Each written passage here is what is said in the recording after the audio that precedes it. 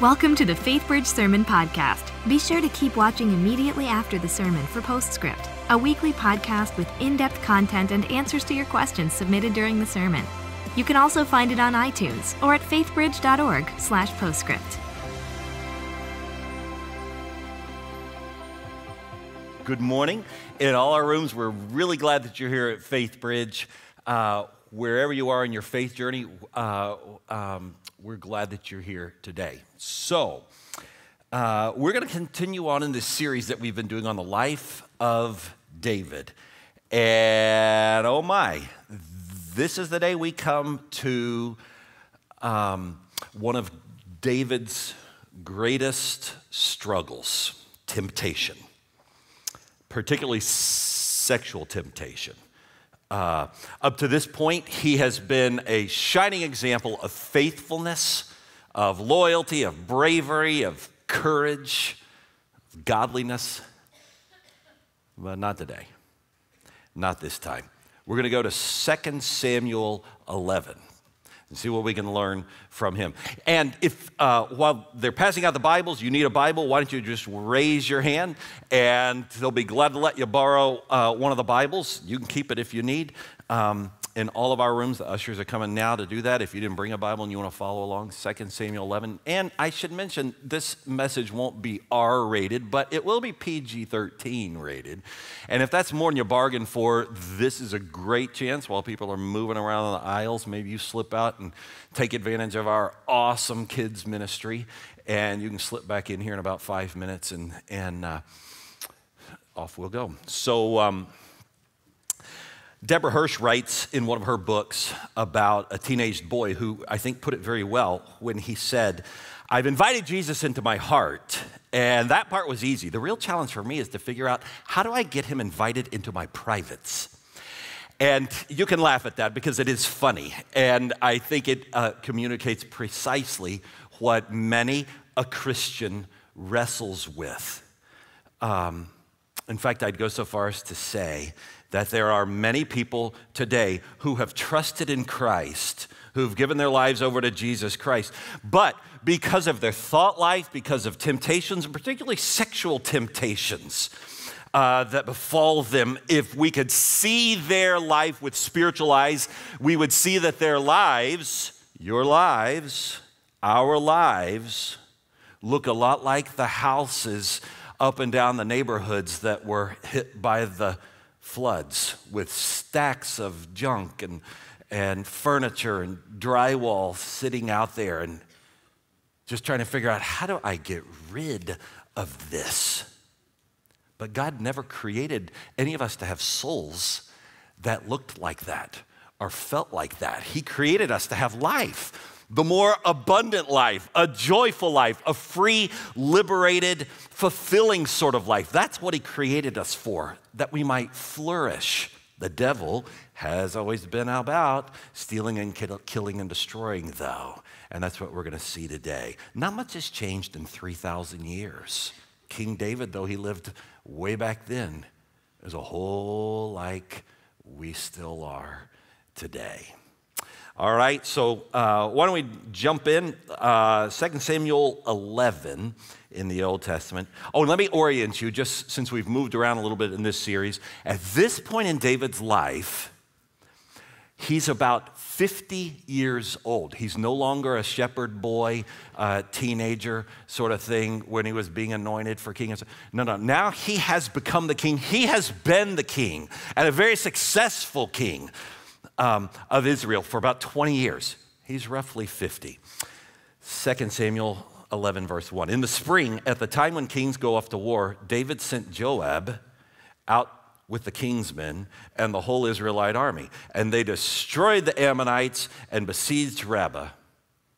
But David remained in Jerusalem. Now let's stop there. I think that's kind of an interesting way for the story to start, isn't it? It says, In the spring, the time of the year when the kings would normally go off to war, David stayed in Jerusalem. See, at springtime, the ground was firm. Any snow or moisture is melted. The chariot wheels could roll. Again, this is the time when, if you're the king, you get out, you lead your troops. This time, his 20th year, he said, nah, I think I'll just sit back this time. Why do you think he sat back? I've pondered that myself a little bit. Wondered if maybe he just thought, you know, I don't know if I have the energy like I used to have. Maybe he looked in the mirror more often than normal and noticed, you know, there's, there's a lot more salt than there is pepper up there. Maybe he had nothing and said, you know, that Rogaine, it doesn't work.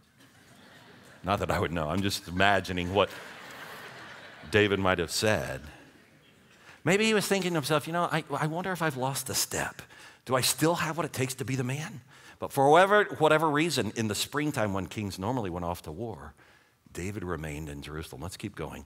Verse 2 One evening, David got up from his bed and he walked around on the roof of the palace. From the roof, he saw a woman bathing. The woman was very beautiful, and David sent someone to find out about her. Now, what's going on here?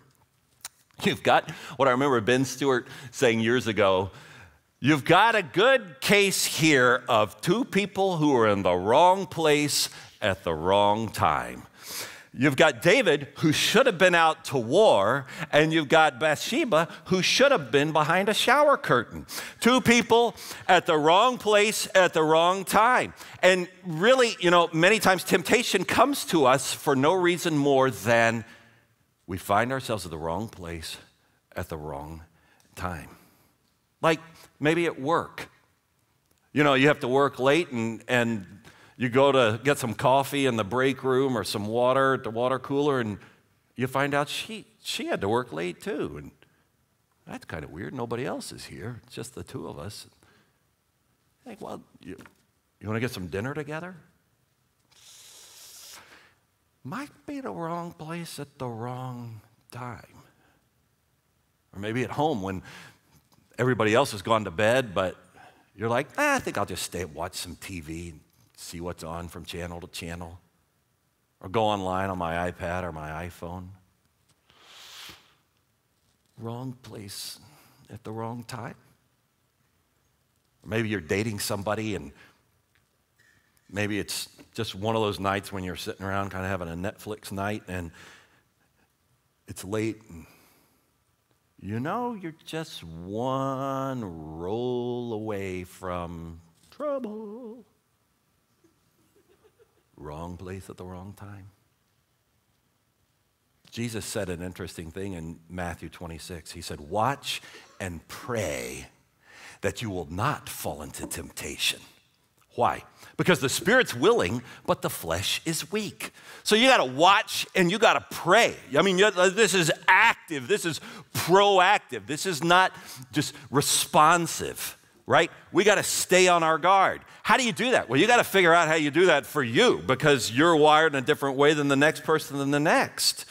I have a friend who told me, who I know what his struggles are, but he said, you know what, I've just, I've just had to learn there's several different routes I could take to get home.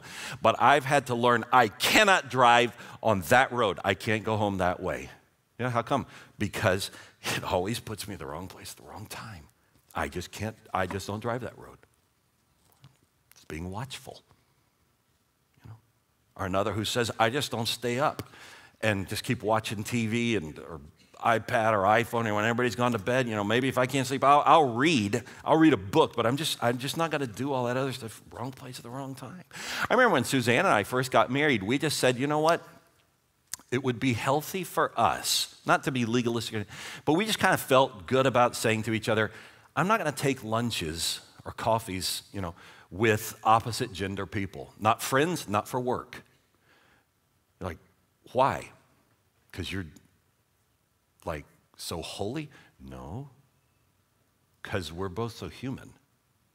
And we've both just realized, you know, if, if I'm sitting across the table from somebody who I feel just the slightest bit of attraction and chemistry for, and there's a little energy, nothing terrible is going to happen, not one time.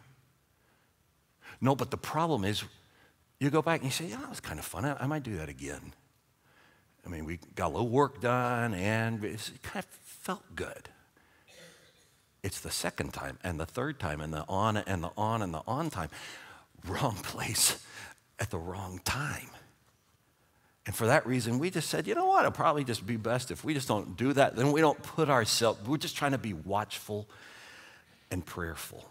Because, see, I've never met anybody who meant to get their, their wires crossed with another person, their roles confused with another person, or to have conversations that they should really have only been having with their spouses and now it's destroying their marriage. I never found anybody who said, That's my goal in the next three years to make that happen. No, but if you rewound the tape, you would go back and you would find there was one point in time where you ended up at the wrong place at the wrong time. And that's the problem.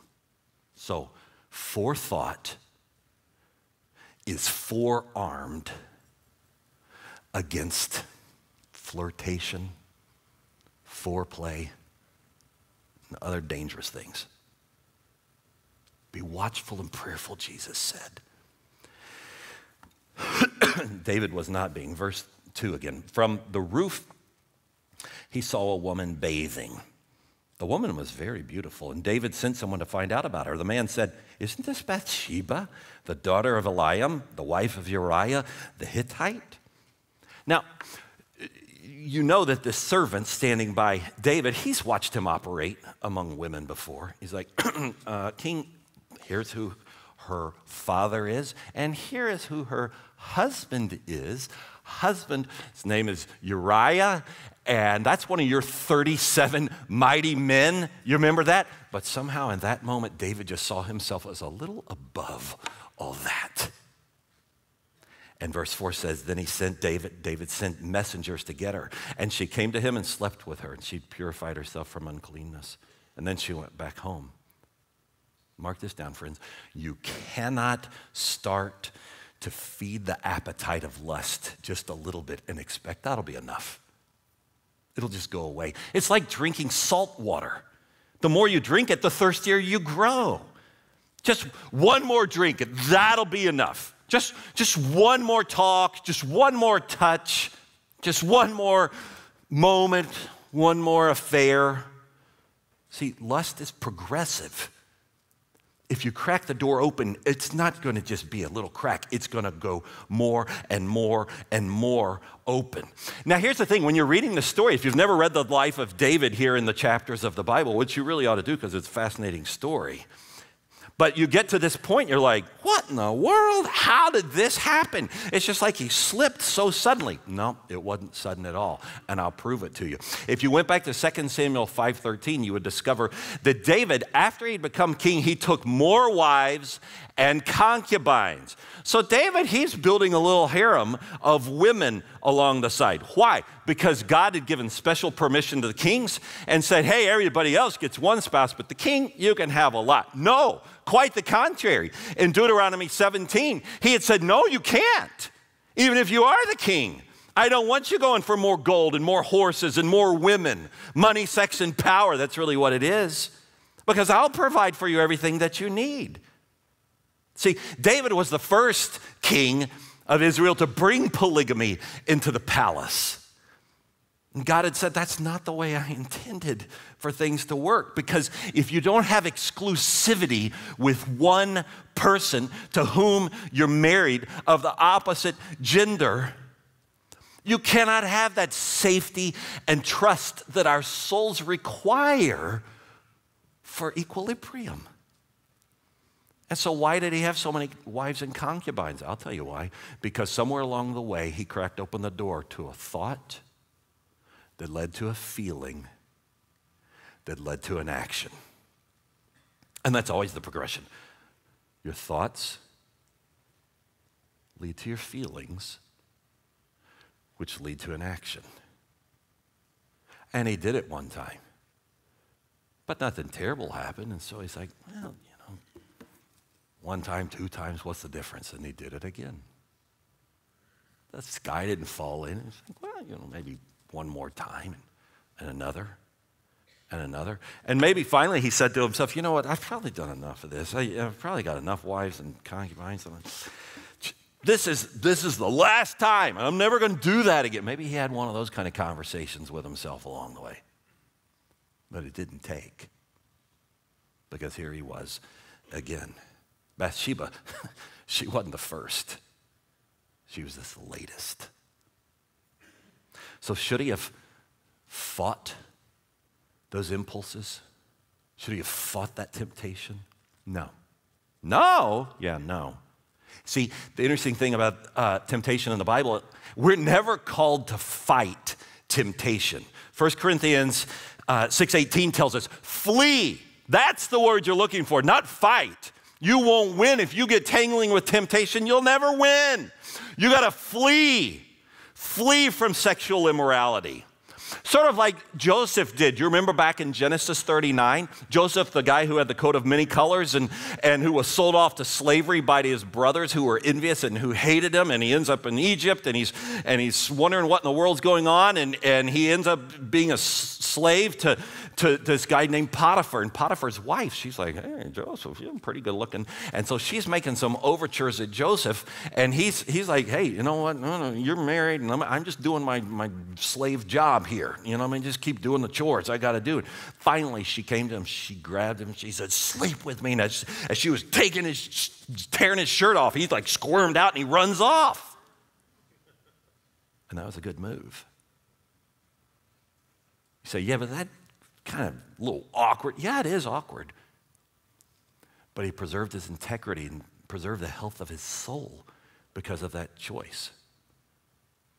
Um, flee?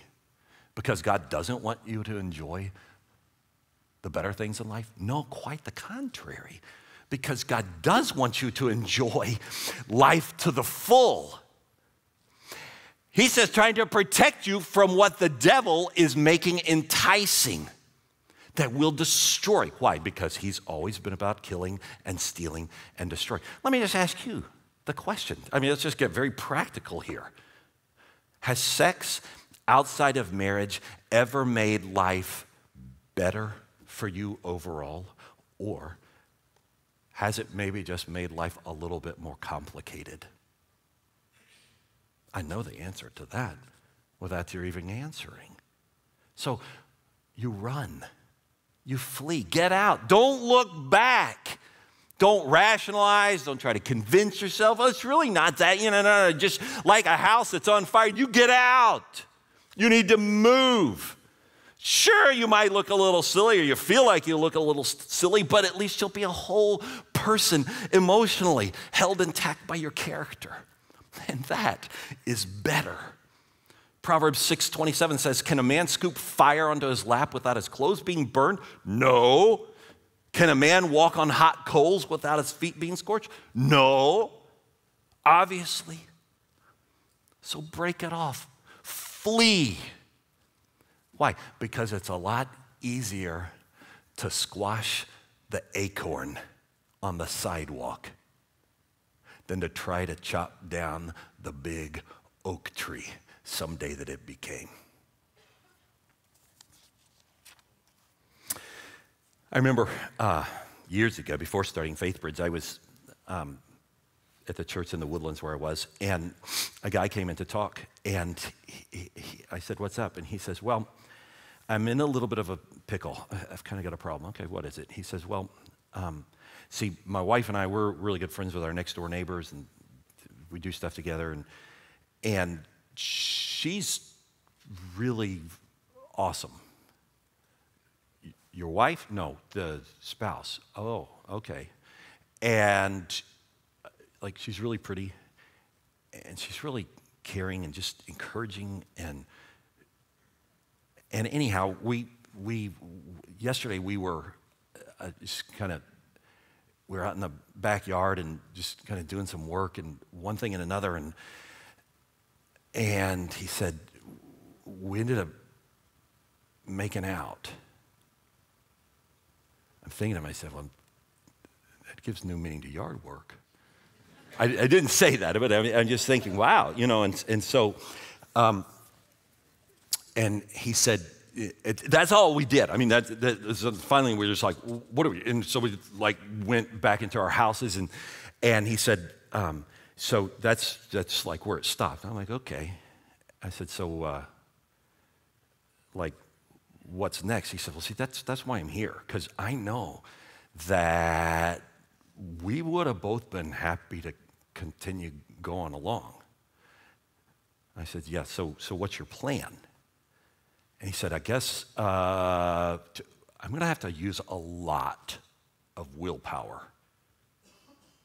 I said, eh, I don't think that's the answer. I think that's pretty stupid, actually. I, I, I'm not the most Rogerian counselor. Um, and uh, I said, that, that, You've already told me where this story is going to go, and it's not a happy ending. You've already played it forward for me. What do you mean you're going to use willpower? And, he said, uh, Well, so, like, I don't know, maybe do you think we ought to, like, I should just, we should move? I said, Sounds like about the smartest thing you've said so far here in my office. If they're not moving, you better get moving, right? Because I don't know how you're gonna flee otherwise. He said, Oh my gosh, that's like huge. I'm like, Yeah, but play it forward. You've already told me where this is going to go. And, and, and, think of the, the, the compromising of your integrity and the, and the sacrificing of your family and your kids. Is that really what you want? He said, No, that's not what I want. And I said, Well, let me pray for you. And so I prayed for him. And out from my office, he went. And honestly, I really didn't think he was going to be man enough to do it. I thought, yeah, next time I see you, it'll be because it's all come apart.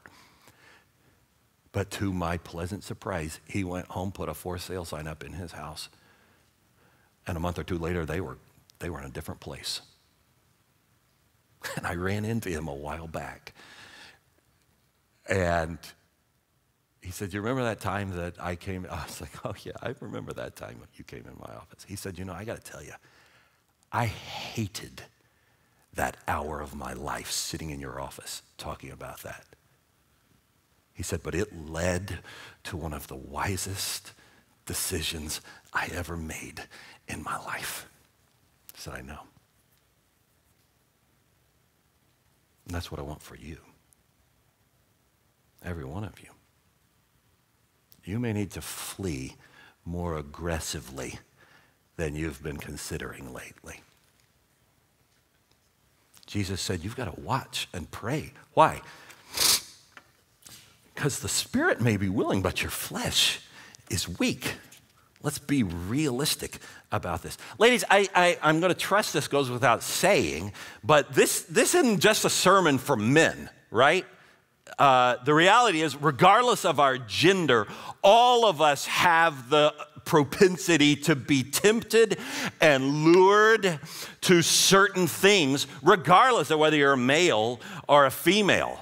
Okay? So for just a moment, let's just let's just be metaphorical. Um, and let's just say David represents the human heart. Every one of our human hearts is David. We're all depraved. We're all infected with sin. There's not one, no, not one, who, who doesn't wrestle, the Bible says, with this sin, with this depravity, with temptation that, that comes into our heart. Let's just assume for the moment that Bathsheba represents uh, temptation. David represents the heart, Bathsheba represents temptation. You're David, and I don't know what your Bathsheba is, but I know you've got one. You may get two or three. And see, now sometimes those things are different from gender to gender. You know, for some people, that your, your Bathsheba might be pornography. And you find yourself saying, I just really want to go and look at. You know, and, and other people are like, I, that doesn't even. But some of you, you might be, your Bathsheba might be sort of the romantic chick flicks where you can sort of get your mind engaged in sort of, or Fifty Shades of Grey. Or so, so, see, everybody has their own forms of temptation that are working on them, but let's not pretend that this is just something that, that one gender uh, has to wrestle with. All of us have to wrestle with this, right? So the question is will you be honest enough to admit, here's what I struggle with, and then will you take the steps you need to take to flee? You say, well, all right, this is great, and I needed this, and the problem is I needed it like a year ago, or five years ago, or 15 years ago. You know, he's kind of getting me a little bit late here, Ken.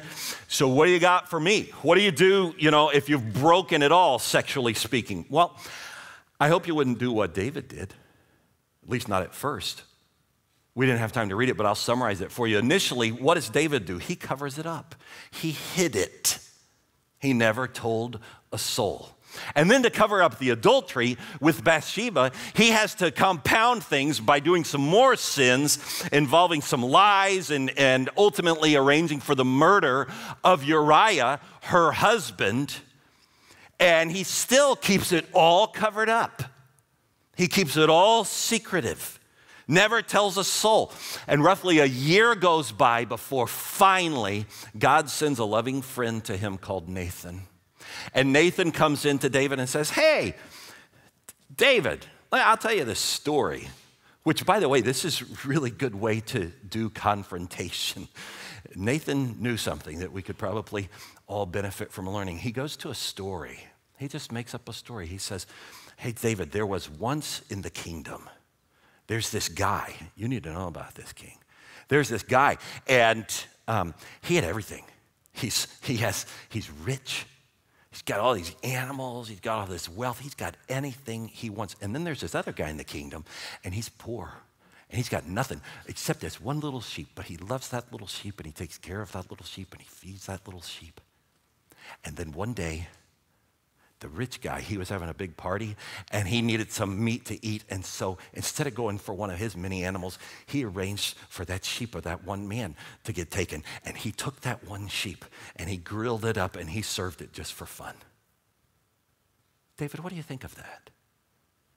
And at hearing that story, David stood up and he said, That man should die today. At which point, Nathan leaned over and said, David, you are that man. You had everything. You had everything anybody could ever want and more. You're the king. And God had even told you if you ever want more, I'll just provide it. I'll give it to you. But that wasn't enough for you, huh? You had to go to somebody else's and you had to take what wasn't yours. And you should have never known or had spiritual knowledge or awareness about a woman who didn't belong to you. But you went and you got that. I'm talking about you, David. And at that point, David finally did the right thing. He owned it. He didn't hide, he didn't bow up and say, Who do you think you are to tell? He didn't make excuses. He just said, I've sinned. I've sinned against the Lord. He confessed it. You know, that's a really good thing to get to a point of confessing it. You know why? Because it's only through confession that the doors to grace are thrown wide open to us. See, as long as we're locking it down and keeping it in and being secretive, the grace can't flow in. And so we carry all of this stuff and it makes our souls to feel like junk piles and our energy is depleted and we're withering on the inside. But if we confess and just be honest, the doors to grace open up. And at this point, he receives grace. Nathan looks at him and says, David, you're not going to die. God forgives you. By God's grace, you're going to be able to move on from this. Here's the interesting thing about the Bible, the wonderful thing about the Bible. The point of the Bible is that God continually, persistently works with and gives grace to people who don't deserve it. That's the Bible right there. He gives grace to people who don't deserve it.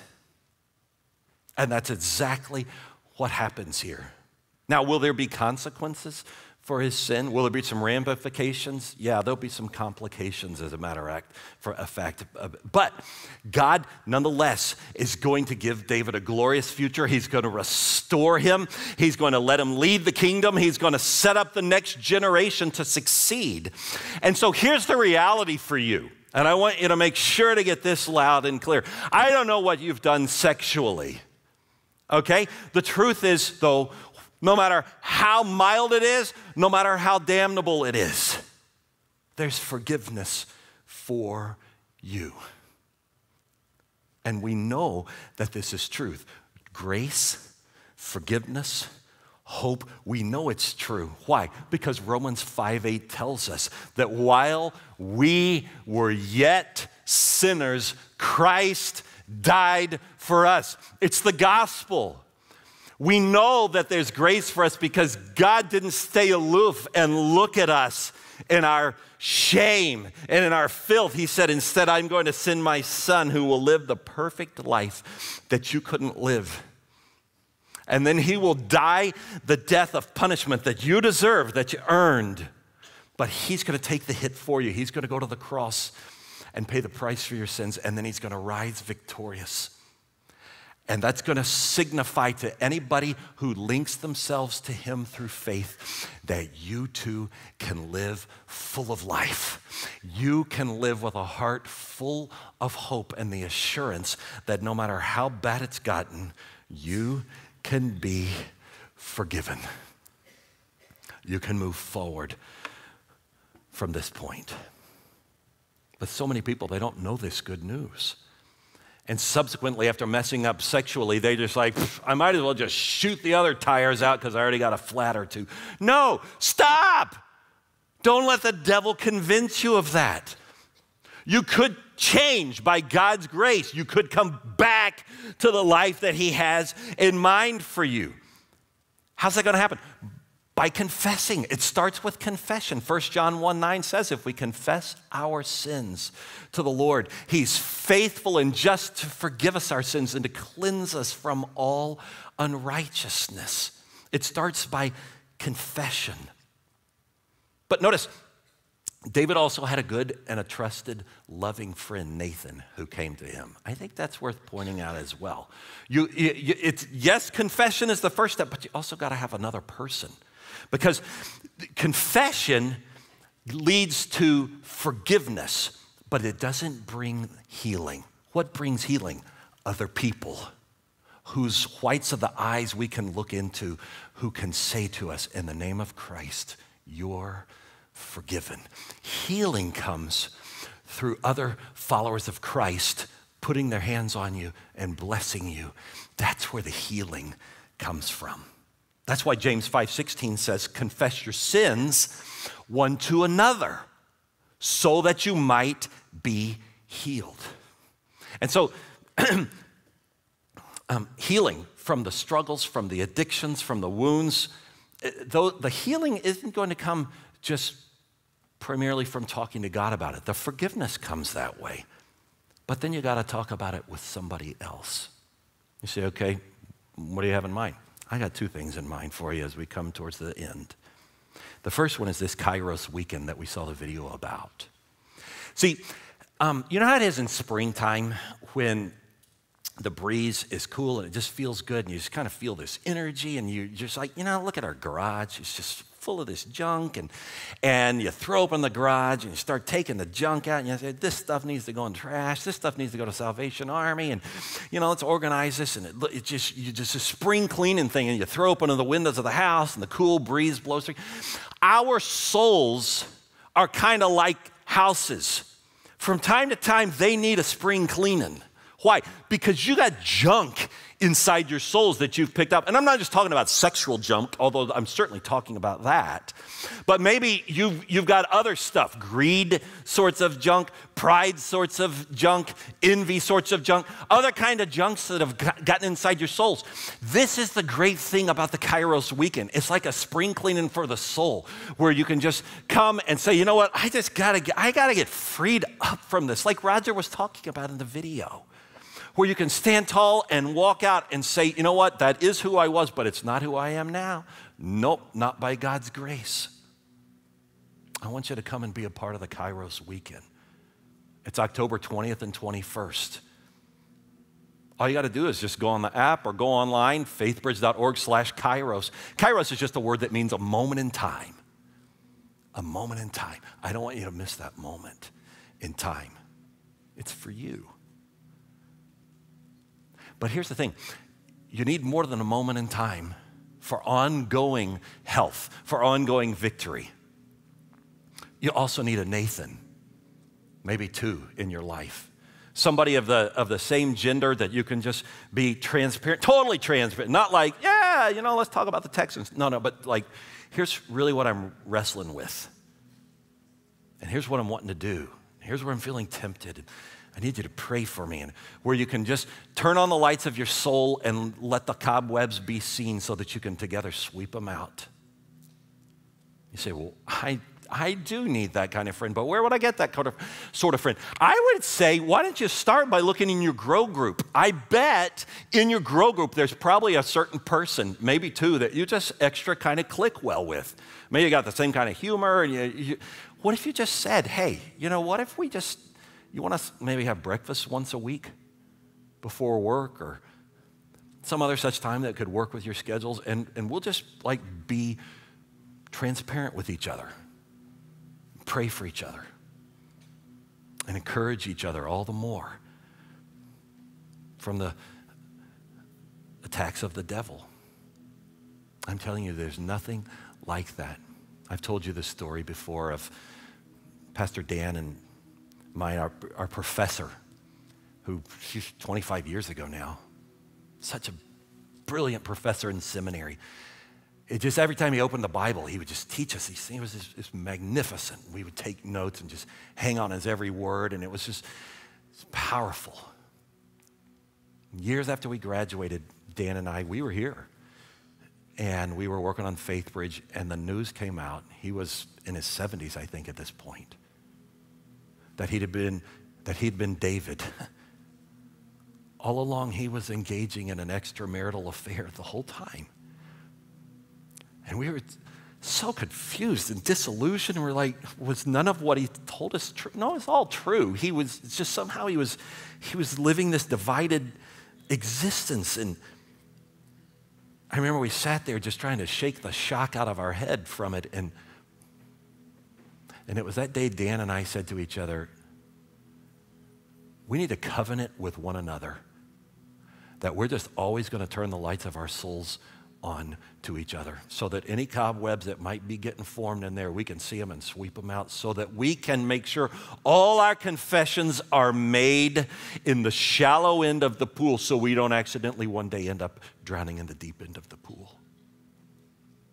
And I tell you, I tell you, and we do that weekly, and I never walk away from one of those breakfasts or coffees or whatever, catch a few minutes when I don't feel um, more joyful, freer, lighter, stronger. It's good. And that's what I want for you life, fullness, abundance, liberation, victory. That's what God wants for you. Why don't we talk to Him right now about it? Let's pray. Lord, this kind of message can't help but touch a sensitive part in every single one of our souls. No matter if we've just been exploring you, Jesus, and just thinking about God in church for the first time, no matter if we've been walking with you for 20 or 30 or more years, because the temptations never go away. The devil never says, Well, I'm just going to quit on this guy or this guy. No, he keeps coming back day after day, ever seeking to steal and kill and destroy. Lord, my prayer is that you would give us victory. I want to pray first of all. I just want to lead you in all of our rooms right now. Even as we're praying, I'm just going to I'm just going to ask you right now to have a moment of confession. Uh, in this instance, not not a loud confession, but just to the Lord kind of confession. I have a feeling that even as we've talked, you've been thinking about something. Probably maybe one or two things came to your mind. Maybe it was this person or this scene or that setting or or this thing. Why don't you just confess it like David finally did that day when he said, I have sinned. Instead of pretending, why don't you just say to the Lord right now, I've sinned against the Lord? So that you could move forward. Do that right now in your, in your own heart, silently, quietly.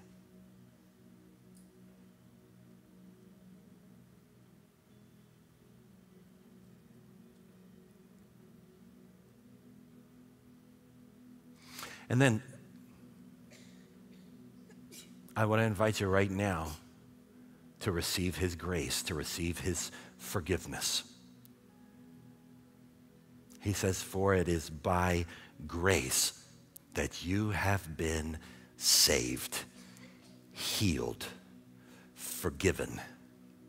Not because you went out and did something so good that you earned it. No, because none of us could ever do that. It's because He went to the cross so, would you just say, okay, I'm trusting you, Jesus, that you would forgive me, and I'm receiving that forgiveness even now, trusting that you will wash my sins whiter than snow. You receive that right now in all our rooms. And then, last of all, I want to invite you in, in your own heart and mind right now. Why don't you just talk about the Lord? And, and I just have a feeling that maybe today is a day that needs to be a day for turning around. That's what the word repenting means to turn around or to resolve, to say, you know what? I've got to get a David. I've got to quit trying to do this on my own. I can't win this thing on my own. I never win this thing on my own. I've got to have a, Nathan in my life. And here, I'm gonna, I'm gonna come next week to the, to the Grow Group Expo. Because I wanna, I wanna get in a Grow Group. I wanna meet a friend. I need a friend like that. Lord, my commitment today is I'm coming back next Sunday. I'm coming to the Grow Group Expo because I want to meet some real people who are in some real grow groups. Or maybe you're in a grow group already, and maybe your commitment right now needs to be it's time for me to go ahead and initiate and say, hey, you want to be my Nathan? I, I need a buddy, I need a pal, a partner, somebody who I could run this Christian journey alongside transparently with. Even now, Lord, I pray that you would bring to mind people, or at least the resolution I'm going to move towards finding that person. And by your grace, God, I pray that you would provide it for him, for her. Because you've created us not for defeat, the devil is always about defeat, is always about destruction. But God, you are stronger. Even as we were singing earlier, you're stronger than all of that. And so we turn our hearts, we turn our minds to you, God. I pray that your grace would flow into our hearts and that we would go from here not uh, recoiling, not with our shoulders hanging over, saying, Oh, I'm just such a terrible person. Look at all the things. No, but that we would receive that grace and say, Okay, it's by His grace that I am standing tall. I've received His grace. I am going to be even stronger as I move forward because I'm going to move forward full of confession, full of transparency. God, my prayer is that you would make us a congregation full of people who are stronger, not on our own strength, but stronger because you are stronger. Welcome to Postscript. Here we hope to answer your questions and help you dig deeper into the messages and sermons at FaithBridge by talking with the teacher of the day.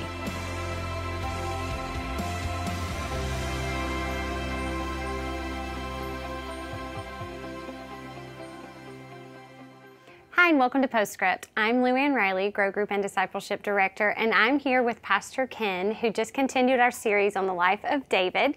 And today we talked about David and Bathsheba.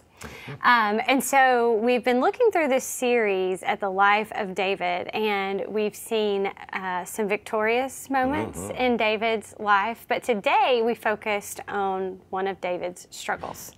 Uh, looking at uh, his struggle with sexual sin and temptation.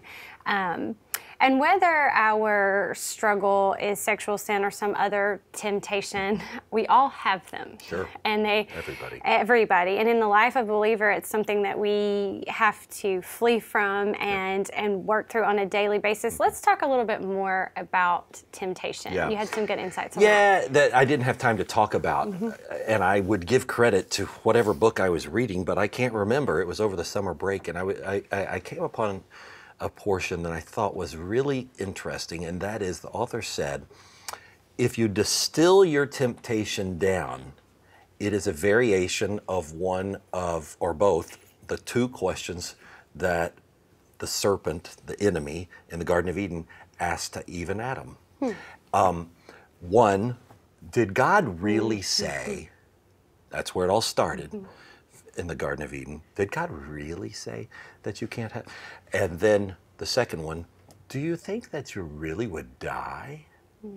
Or in other words, you don't really, really think, think, the mm-hmm. consequences would be that bad. And it creates doubt. And once you start tangling and uh, yeah. rationalizing starts and you can begin to think to yourself, well, God did say it, but surely he probably didn't mean it for me. I mean, that's probably what David, mm-hmm. I mean, David knew God's word. He, he would help to write the Psalms and give us, you know, so he knew God. But in that moment, mm-hmm. obviously he was living a compartmentalized life, sort of like the professor that I talked about at the end of Dan's and mine, who somehow was living this divided life mm-hmm. and had decided he might have said it, but he didn't mean it for mm-hmm. me. Mm-hmm. And the consequences won't be surely that bad mm-hmm. for me. It's what happens to us all if we're not careful. Yeah. So, one way, so we flee temptation, but then we also fight against it in a way of protecting ourselves Absolutely. from it in accountability groups. Yeah. That's one yeah. way that we flee is, is by sure. having people that speak into this and That's hold right. us accountable. So tell me uh, about how you've seen accountability groups sure. work well. Well, I think one of the, the best tools I've ever seen goes back to the 1700s. One of my heroes, John Wesley. Um, who was a, sort of an exacting kind of person and very disciplined, but he wrote out five questions that he would have his uh, people get into clusters, same gender, of maybe two or three people, what we would call an accountability group, what he called, what they called back in the 1700s, a band, B A N D. Mm-hmm. And the band, and you can Google it, the, the Wesley's Band Questions. Um, and I can't recall them all by, by memory, but I can get the gist of them. Mm-hmm. Uh, the first one, um, uh, where have you been tempted since we last met a week ago? Um, secondly, were you uh, victorious over that temptation? If so, how were you? If, if not, uh, why were you not? Mm-hmm. And that leads to the third one. So, where have you sinned since we last uh, met together? Uh, and uh, one or two others, and then he ended it with, Have you been entirely honest with us? Mm. And I think right there, if you need a little template just to go through while you're having coffee or eating breakfast or lunch, you know, whatever, um, those are some pretty good questions to use today. Because just getting together doesn't guarantee that your soul is going to be protected. I'll share an example that uh, actually comes from Pastor Dan. I remember years ago, um, he was in a little group like this with some other pastors back when he was pastoring in Georgia. And one week, one of the pastors didn't show up.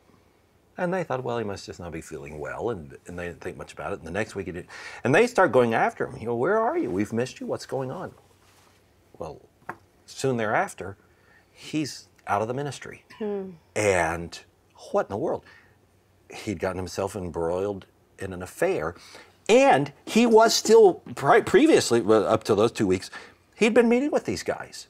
he just wasn't being honest. Mm. He wasn't answering that last question that Wesley yeah. said Have you been, been honest completely here uh, with us? Are you still hanging on to something inside your soul? Mm-hmm.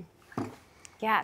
So, are there any? Uh, we know accountability groups work well, mm-hmm. having people who speak into your mm-hmm. life. Mm-hmm. Um, are there any other resources um, out there, Are things that you sure. would?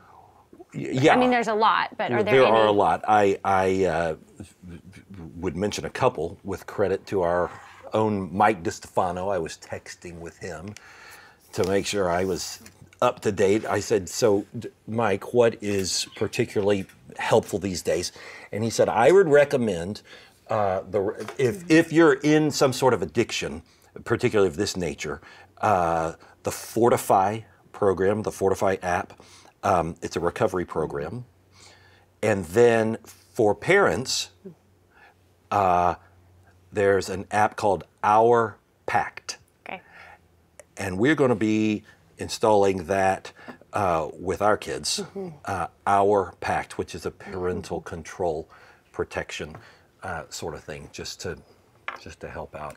You know, we talked about today um, the Kairos conference yeah. that's coming up. Um, as somewhere that you, if you struggled with before, like we see that David, he struggled with this so much, but he repented and he received, even though he had consequences, received forgiveness just just in the same way we do if we that's struggle. Right. And so Kairos could be.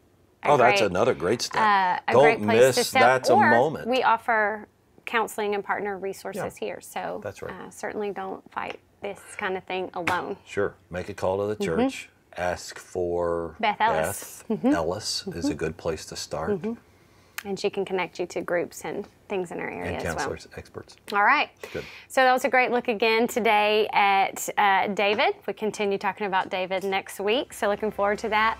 Hope you'll join us back here next week as well for Postscript. Thanks for joining us for Postscript. Help us keep the podcast interactive by submitting your questions during the morning services. Learn more at faithbridge.org/postscript.